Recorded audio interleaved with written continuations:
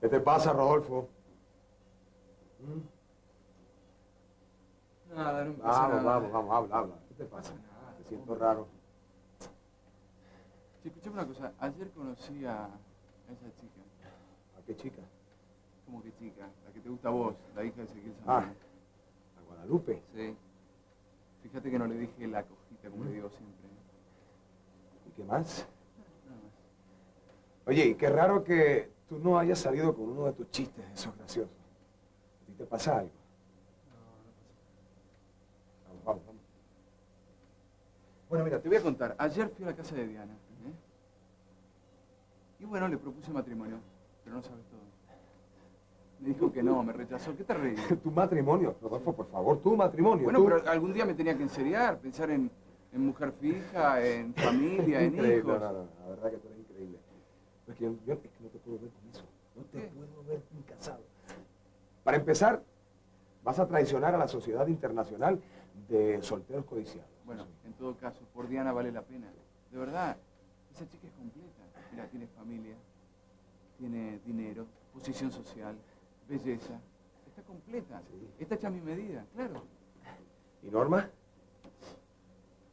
Norma, bueno, esa chica es otra cosa. Ella representa lo prohibido. Es la única mujer que se me ha resistido y bueno. Pero ya va a caer. Tarde o temprano va a caer. Definitivamente tú no cambiarás.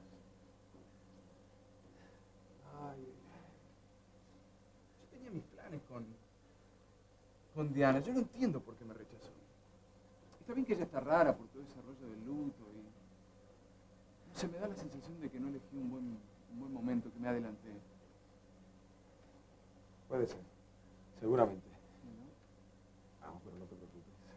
Conseguirás a Diana, te casarás con ella y vivirán como en las novelas felices siempre. Bueno, Sí. espero que sea como en las novelas y no como en los tangos, si no va a ser muy triste, vamos a llorar los dos juntos. Ay, Dios mío. Mira. ¿Qué? Dime, cuéntame. ¿Qué tal te pareció Lupe? Ah, veo que la chica es el nombre ya, ¿eh? Mira, te voy a decir, si esa chica no tuviese así un defecto físico en la pierna y además fuese millonaria, creo que me tendría de rival. Sí. No me digas. Sí, porque esa chica es linda. Lo que pasa es que, no sé, no, no llama la atención, ¿no? No sé, no se sabe arreglar, siempre está así tan, tan sencillita. Y a mí, a mí una mujer me tiene que entrar por los ojos. Tiene que ser espectacular, como esos autos de lujo. ¿Eh? ¿No, Tú Alejandro? ves, esa es la diferencia entre tú y yo. Tú le das mucha importancia a la cosa superficial, a lo material. Yo, en cambio, yo no reparo en lo físico. A mí la mujer me tiene que entrar por el corazón. Ay, por favor, Alejandro, me vas a hacer llorar. Voy a registrar la frasecita. Por favor, no seas tan sentimental. Y, es cierto. Además, yo no tengo que avergonzarme de nada. Mira a mis padres. Son muy amorosos. Además, yo vengo de esa cuna. Lo tengo en la sangre. Lupe, le caí bien a ella. Por lo menos tengo eso a mi favor. Pues, por lo que me has contado, no ha pasado nada nuevo. Ay, qué frustración. Sí, han pasado muchas cosas. Pero con respecto a mi príncipe, no. Lo único es aquel beso que le di. ¿What? ¿Lo besaste? Ay, de mentiras, flaquita, pero. Pero fue en mi imaginación. Ay, eso es costumbre de ella. Esas son sus fantasías. Pero no comprende lo que está diciendo. Sí, Betty, mira. Es, lo mismo que, que un sueño, ¿ves? Mira, las cosas no pasan en realidad, pero, pero uno cree que las vive. Entonces, a veces yo deseo mucho hacer algo y, y me parece que lo hago. Creo que, que si lo pienso se me da, se hace realidad.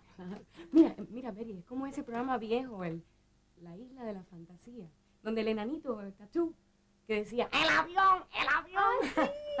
Sí, yo lo conozco. Sí, eso mismo, cachita.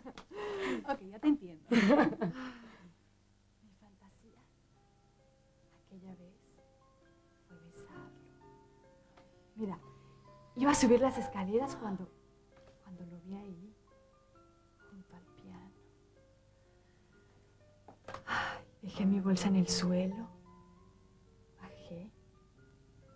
lo abracé y, lo besé en la boca.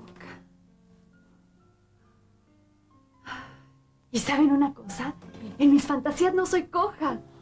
Camino así, derechita. Ay, qué rico es besar. Si de mentira se siente así, ¿cómo será de verdad? Bueno, ¿y, y- qué sentiste, Guadalupe? ¿Qué sentiste? Sí, dígalo.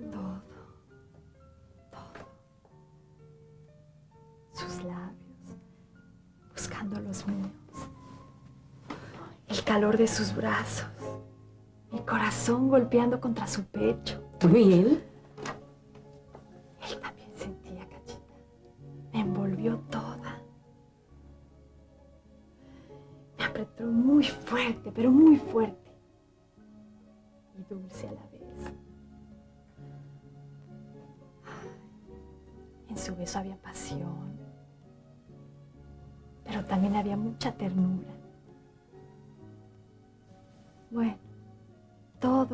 Imaginario. En realidad no hubo beso. No hubo nada. Contra.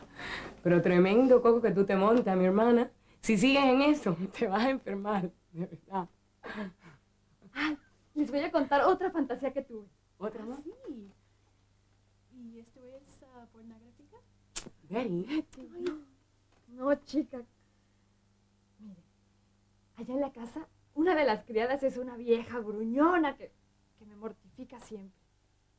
Y hoy, hoy cuando la vi, la vi así como, ¿Cómo qué? como una bruja, montada en su escoba y, y con su sombrero así, con capa y toda la cosa. Y a caballito en la escoba.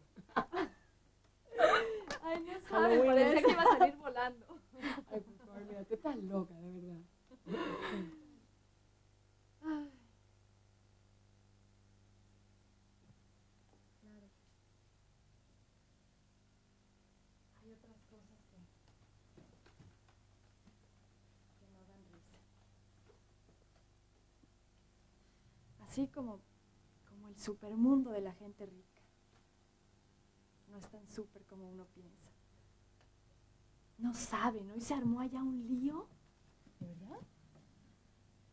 Ay, sí, pobrecita, mi prima mayor no quiere casarse con el joven que la pretende. Entonces ella y tía Luisa discutieron, se dijeron un chorro de cosas y...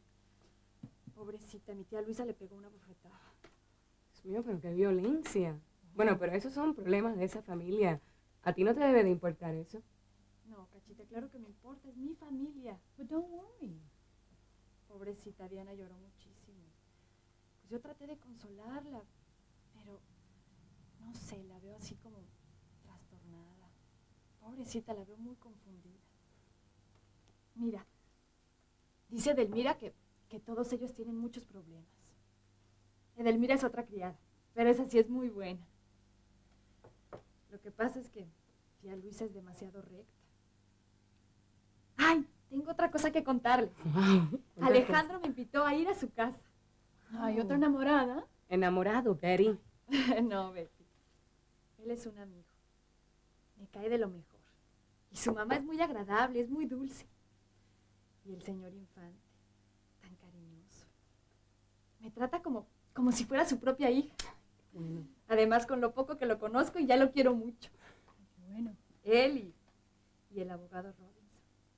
Claro, en, en distinta forma, ¿no?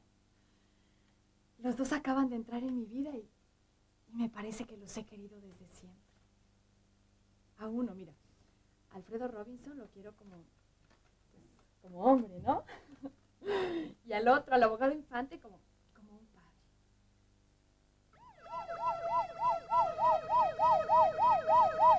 I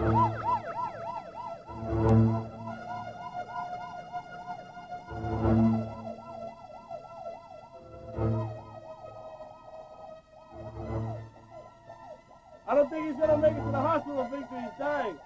Same ready.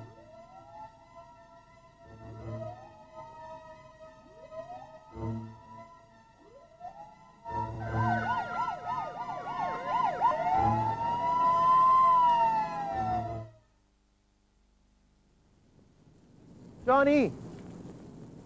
Johnny. Oye, Johnny, me tienes que llevar a comprar una cosa. ¿Ven tu carro? No, no, no, yo solo no. No, yo no puedo, tengo que hacerle un encargo a tu madre y es algo muy importante. propósito, la señora Luisa me ha dicho que no me puedo llevar el carro para andar solo por ahí con mujeres. Me voy a perjudicar por tu culpa, men. Por mi culpa. Claro. ¿No me quieres acompañar? Anímate, macho. Vámonos de cacería esta noche. Yo puedo preparar una combinación muy buena. ¿Mm? Dos para ti y dos para mí. Yo tengo mujeres para escoger. No puedo, Johnny, no puedo. Estoy estudiando para un examen. La materia es muy difícil. Cada vez me gusta menos esta carrera de, de medicina, la verdad. Es que yo no sé nada de huesos ni nada de esas cosas. A mis compañeros les da risa. Siempre están haciendo chistes y juegan con los, con los cadáveres. ¿Tú sabes lo que es eso? Una persona que tenía sentimientos, pensamientos. Que va, yo no puedo. ¿Tú no sabes de quién eran los huesos? ¿Qué te importa, men? Y además, ¿quién sabe quién era el muerto? Aunque no lo sepa, Johnny, no puedo, no puedo. ¿Tú sabes lo que tengo que comprar ahora? Un conejo, ¿Con él? ¿sí? Un conejo. No será para criarlo, ¿no? Ojalá fuera para que... tiene a la casa. Oye, eso se reproduce como los chinos. ¿Te la pasas en eso? ¿Será que yo tengo algo de conejo, no? Ojalá fuera para cría. ¿Para qué entonces? ¿Qué rayos tiene que ver un doctor con un conejo? Lo necesito para hacer una disección. Coge el conejo, le saca las tripas. Sí, eso mismo. Por eso es que no puedo ir solo, Johnny. ¿Tú te imaginas comprar un animalito para matarlo? Por favor, Johnny, acompáñame, por No, yo no favor. puedo, en serio. Tengo un recado de tu madre muy importante. Y ella sí que no puedo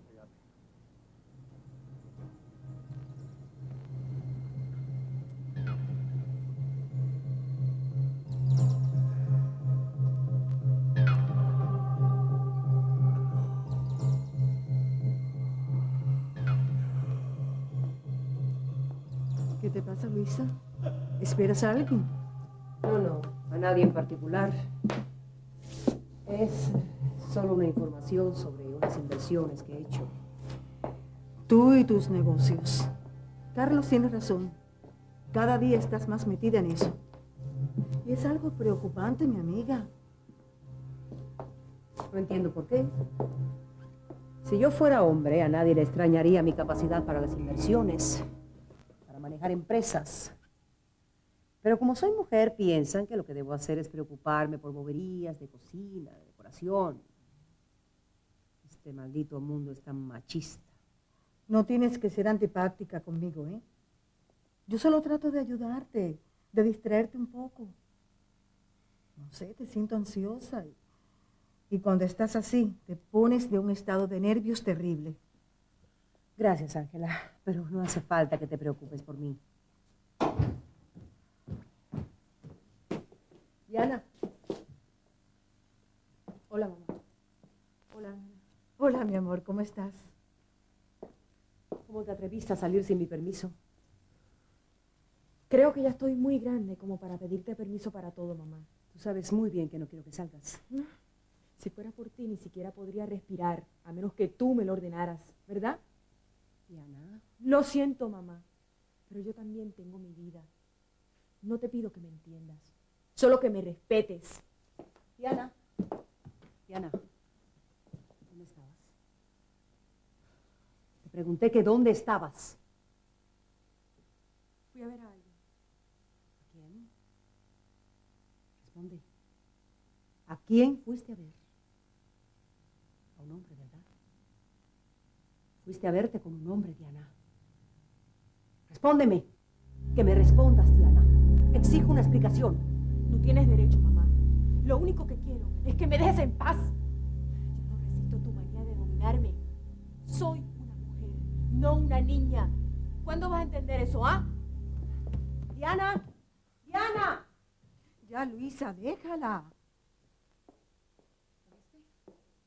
¿Mm? ¿No viste cómo me habló? Malcriada. Pero la culpa la tiene Carlos, que siempre la consintió. Diana siempre fue su preferida. A los otros los puedo controlar, pero a ella no. Quizás si tú le hablaras de otra forma, si trataras de entenderla. ¿Y quién me entiende a mí, Ángela? ¿Quién me entiende? Soy la única que lleva sobre sus hombros el peso de la disciplina en esta casa. Pero claro, todos se ponen en mi contra. En vez de ayudarme, me dejan sola con la carga de toda la familia. Lo que pasa es que los tiempos han cambiado. Cuando tú y yo éramos muchachas, jamás nos hubiéramos atrevido a desobedecer a nuestros padres. Pero ahora es diferente. Los hijos exigen de los padres algo más que disciplina. Quieren conversar, quieren que se les comprenda. Y eso está bien, Luisa. Hablas como Carlos.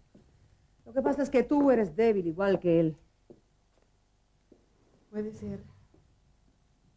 Dios solo me dio un hijo y me dediqué por completo a Alejandro. No sé, quizás si hubiera tenido una hija. Creo que con una hija hubiera sido todavía peor. Ay, tú no te imaginas lo que Antonio ha deseado tener una niña. Yo no pude complacerlo. Estoy segura de que Antonio se hubiera vuelto loco de alegría con una hija.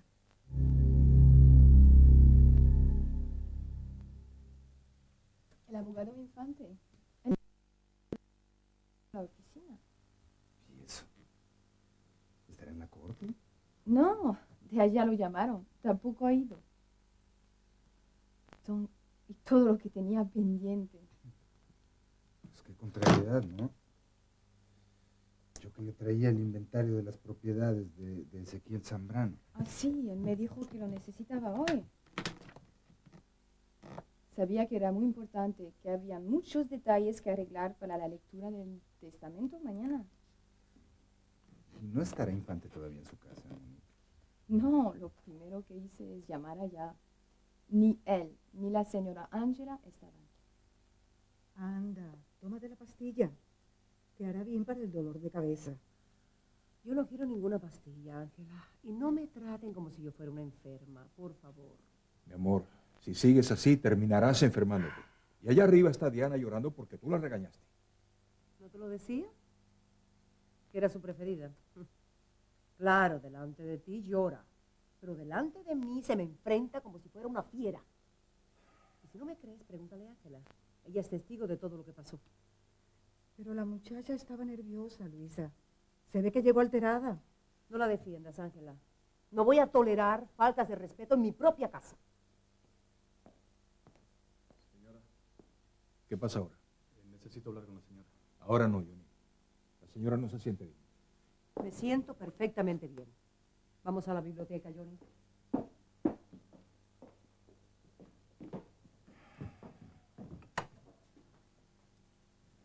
La pobre Luisa.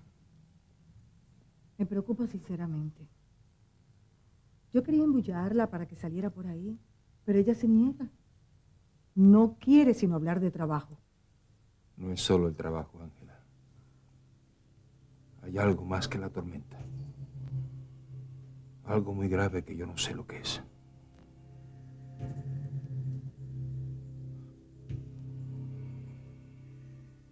Aquí está lo que usted quería, Llaves del archivo de Antonio. Por fin las tengo en mi poder.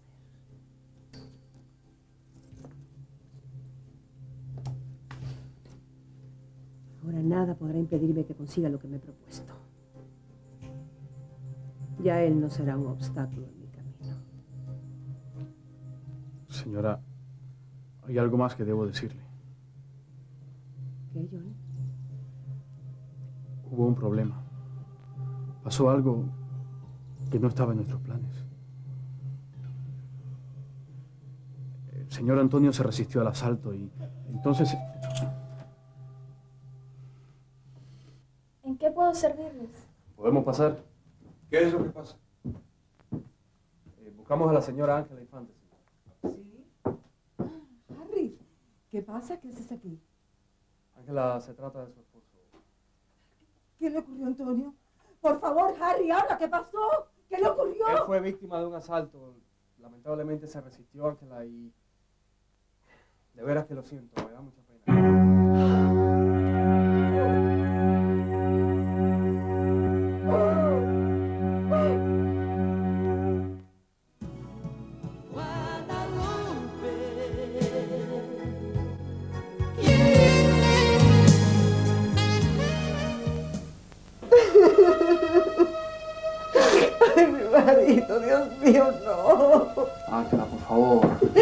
Comprendo cómo usted se siente, pero trate de ser fuerte. Es que esto no puede ser, no puede ser, no. Vamos, cálmate, Ángela, cálmate. Deja que el oficial explique. A ver, termine usted. Usted dijo... ¿Qué le pasó a Antonio? Está muerto. Eso es Harry. Mi esposo está muerto. Antonio no está muerto, Antonio no está muerto, está mal herido. Él fue víctima del asalto. Yo en cuanto lo supe, tomé el caso personalmente por la amistad que nos une. ¿Qué pasó? Usted habla de un asalto, ¿no? Sí, mire, el abogado Infante iba saliendo del banco con un cliente suyo.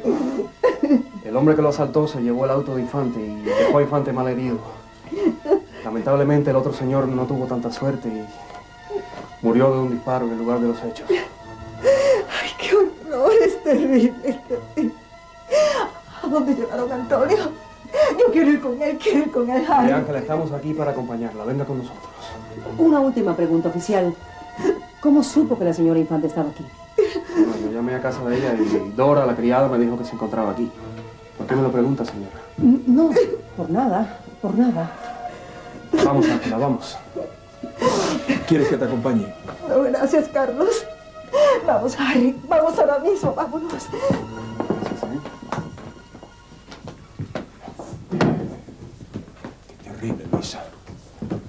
Así es. Violeta, tráeme café. Sí, señora. ¿Y qué vamos a hacer? Nada. No podemos hacer nada más que esperar. No, Luisa. Yo no voy a esperar. Yo voy al hospital a ver a Antonio. Johnny, prepara el carro, que vamos a salir enseguida.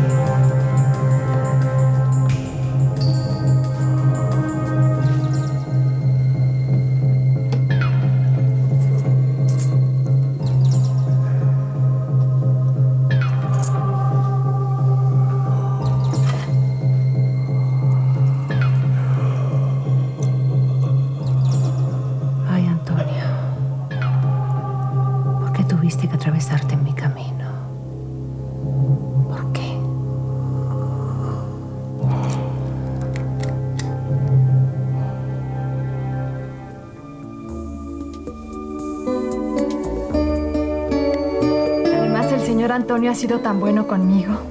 Como un padre, cachita. Además, yo le estoy muy agradecida. Claro. Es que desde el primer momento él se preocupó por ti, por, por buscarte, por llevarte a la casa de tu familia. Ay, es tarde. Tengo que entrar al trabajo. Oigan, ¿sabían que el señor Antonio y papá fueron grandes amigos? ¿Verdad? Sí. Además, él conoció a mi mamá. Fíjense, él fue el que la trajo de México. No sigues con tu cuento. Me tengo que ir y no quiero perderme nada. Pero Benny, llama a Willy, dile que vas más tarde. Claro. No, porque después me asesina. Después me terminas la historia. ¿Ok? Bye. Bye, baby. Have a good workout. ¿Me lo cuentes? Seguro. ¿Ok? Ok, Bye. Betty, bye. Chismosa. ¿Qué es eso que tú me estabas contando de tu mamá? Ay, cachita, son tantas cosas las que quiero decirte que, que no sé ni por dónde empezar. Ay, casi se me olvidaba el cuadrito que te traje. ¿Cuadrito? ¿Qué cuadrito es ese? Mira. Aquí está. Es para ti, cachita. Te Pero- lo regalo. Pero si esta es tu Virgen de Guadalupe, yo... ¿Tú nunca te separas de ella? Tienes razón, pero es que ahora tengo otro. Mira, Edelmira, la criada de la que te hablé, me dio uno, que además era de mi madre. Era de mamá, canchita. Y pues prefiero tener ese en mi mesita de noche. Así que te regalo este. Tómalo, es tuyo. Además, eres la única persona a quien puedo regalárselo. Yo sé que la cuidarás y la querrás tanto como yo. Gracias. ¿Te gustó? Sí.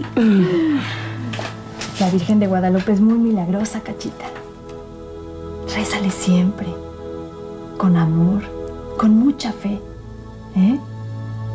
Y verás que ella nunca dejará de velar por ti, Cachita. Te quiero mucho.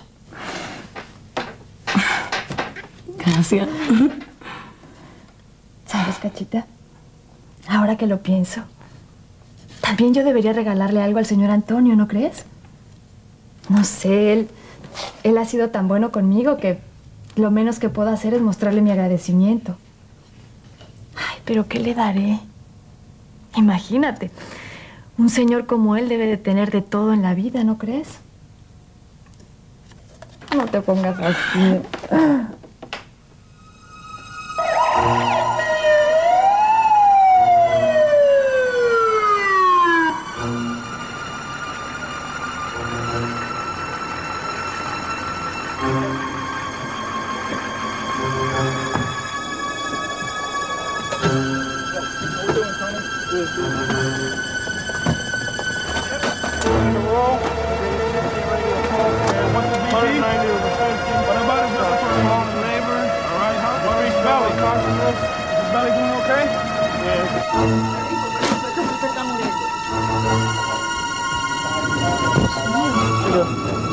Ese no es el señor Infante.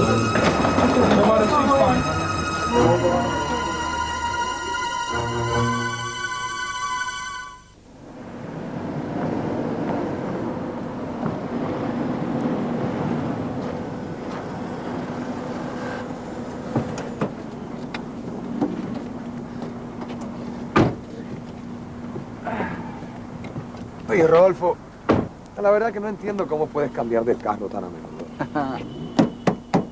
El crédito, hermano. Mientras existan los pagos a plazo, no veo motivo para que tenga que renunciar a nada de lo que quiera. Está bien, pero de todas maneras pienso que debes tener un límite. Ah, no, sé lo que pues, hago. no te puedes pasar toda la vida endeudado. Ah, no te preocupes. Además, todo eso se va a terminar muy pronto. No solo voy a pagar todas mis deudas, sino que voy a tener más dinero que antes. ¿Ah, sí? Sí, vas a ver. ¿Sí? ¿Y cómo piensas hacerlo? ¿Sacándote el loto como Sergio Coscuyuela? No, voy a hacer algo mucho mejor y mucho más práctico. Voy a escribir a mi familia y voy a esperar sentadito por el cheque. ¡Alejandro! ¿Qué pasará? Nada, nada, que la tengo muerta. Está muerta conmigo. Mira cómo viene a mi encuentro. No te viene a ver a vos, me viene a ver a mí. Mi amor, Alejandro, ha ocurrido algo terrible. Hace un momento ingresó un hombre muy grave y se trata de tu padre. ¿Qué? Se hundieron en un asalto y el hombre que estaba con él murió. Y ahora está él entre la vida y la muerte.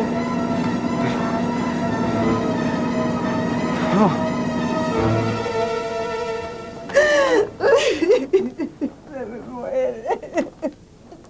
Antonio se me está muriendo. No diga eso, señora. No diga eso. Los, los médicos lo están atendiendo bien. Pero no me dicen nada, no me dejan verlo. Y eso es para que yo no me dé cuenta de lo que está pasando. Ay, Antonio, está muy grave, está muy grave. Ay, ¿por qué, Dios mío? ¿Pero por qué le hicieron esto a mi marido? ¿Por qué? Ay.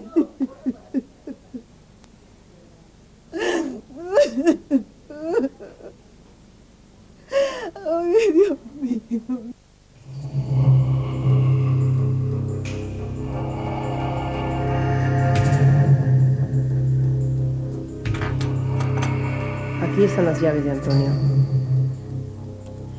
Por eso lo mandé a llamar, Alfredo. Es lamentable lo que le pasó a Antonio. No querían hacerle daño, pero él se resistió y... En fin,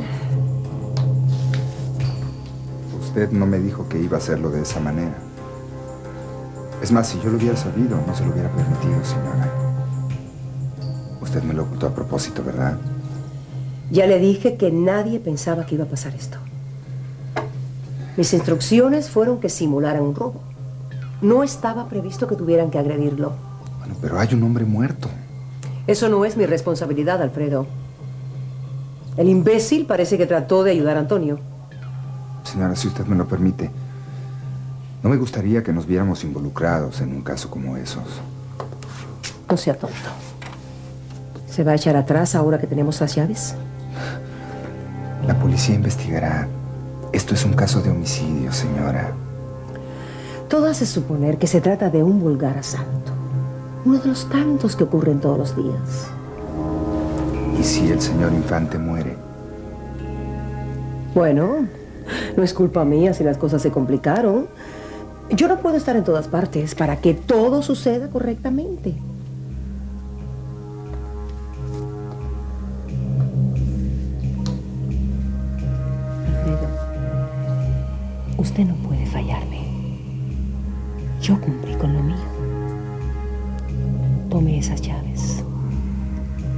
Toca a usted hacer lo suyo.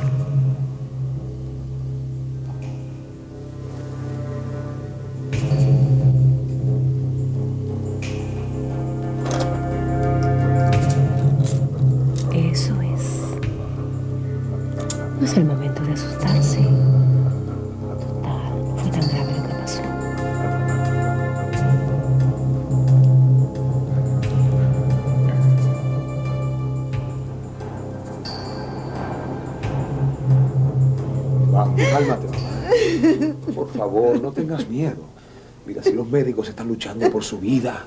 Pero no me dicen nada. ¿Qué es lo que pasa, Alejandro? ¿Qué, qué es exactamente lo que tiene tu padre? No lo sé todavía, pero están atendiendo sus heridas. Están chequeando la gravedad de la situación. Está grave, se está muriendo, yo lo sé. Yo quiero verlo. No, no, no, no, mamá, cálmate, cálmate, cálmate. Voy a entrar a ver a papá ahora mismo. Y enseguida regreso y te digo cómo va todo, ¿bien? Yo voy contigo, No, yo no, no, no, tranquilícese. Todo va a salir bien. Ya va, ve, ve, Alejandro. Ay, si mi marido se muere y yo me muero con él. No, Dios mío, no puede ser.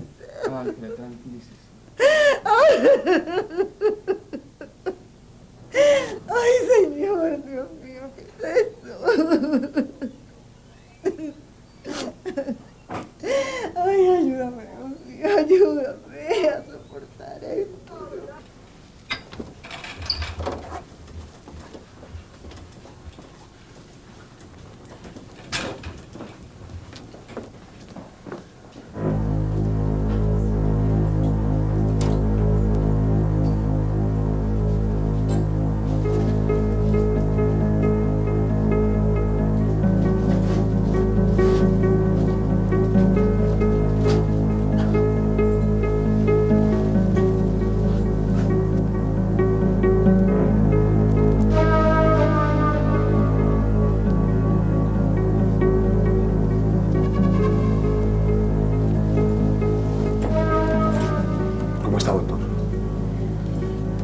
Aparentemente hay fractura. Pudiera haber compresión cerebral.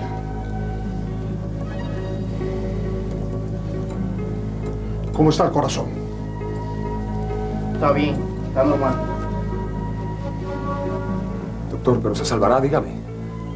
Por favor, dígame. ¿Cuál es el diagnóstico? ¿Cómo está reaccionando? ¿Qué pasa, doctor? Se está muriendo. Se va a morir mi padre. Alejandro, ya te dije que hay fractura. Y tú sabes cómo son estos casos. Todo cabe en el límite de las probabilidades. Hay que esperar a intervenir al paciente para estar seguros.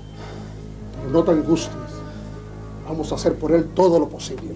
como siempre. Sí, sí, lo sé. Prepárenlo todo. Hay que intervenirlo de urgencia.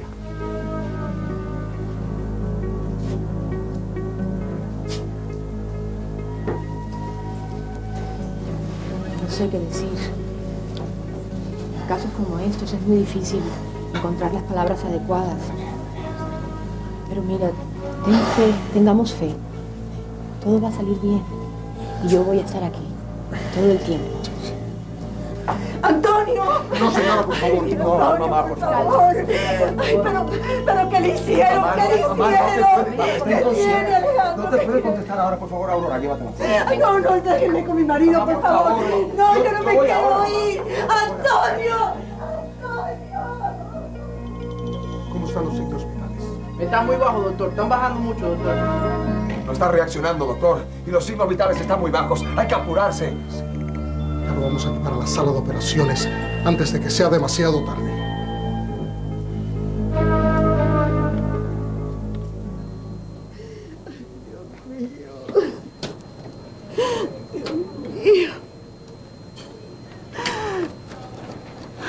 Cálmese, señora, cálmese. Ya va a ver que los médicos lo van a salvar.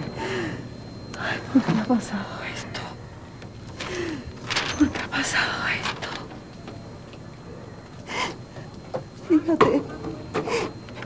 Y yo sin saberlo. Ay, estoy tan nerviosa, tan nerviosa. ¿Pero qué hago? Estoy tan nerviosa. Yo, yo estaba esperándolo. Entonces llegó Harry. Me dijo que el otro hombre estaba muerto. Y que mi esposo. Ay, y ahora, y ahora, ¿qué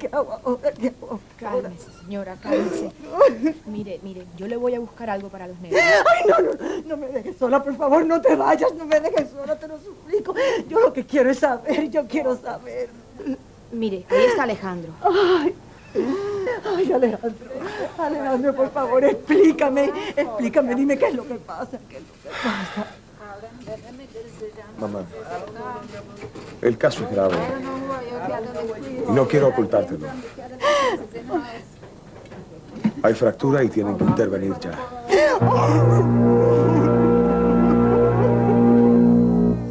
Quizá no sea nada serio y solo tengan que suturarle alguna herida o algunas contusiones.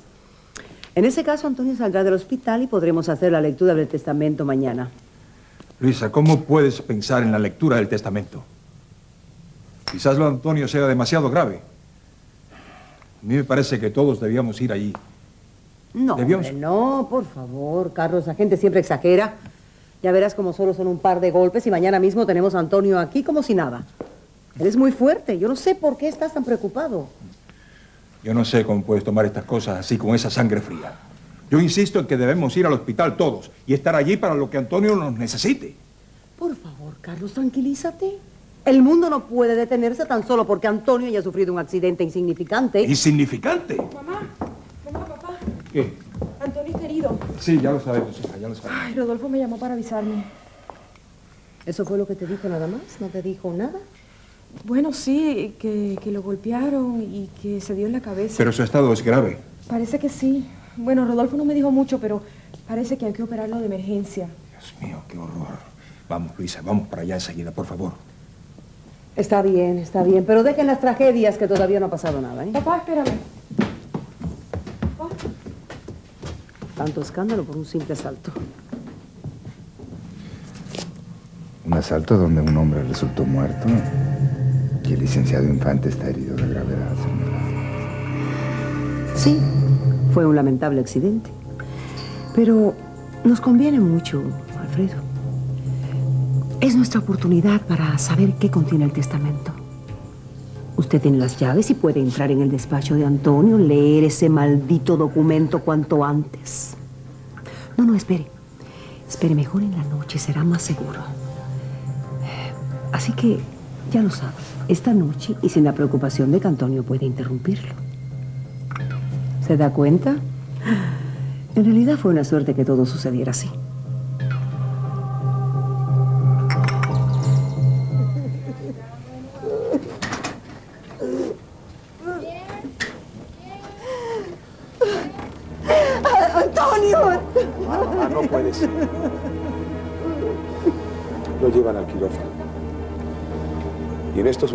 Comenzarán a operar.